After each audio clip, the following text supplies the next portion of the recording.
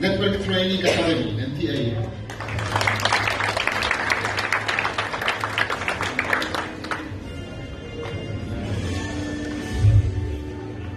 and Jimma University.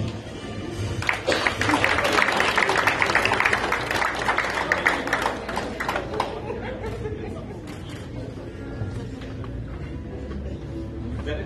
Yeah.